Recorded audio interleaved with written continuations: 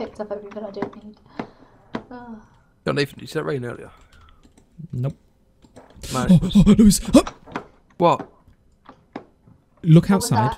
I died because the vehicle got stuck in the ground. I landed on the ground and got stuck in the ground. Are you f- fucking this game? This game is actual shit. This game is actual fucking indie shit. Are you kidding me? Are you fucking kidding me?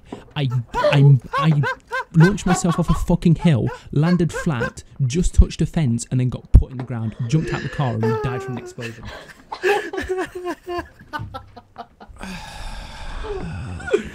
Look at my shit. You can get an M16.